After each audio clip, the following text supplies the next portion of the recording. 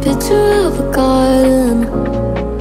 Spend our days right beneath the roses Safe, safe from the comfort of loving someone. Could it ever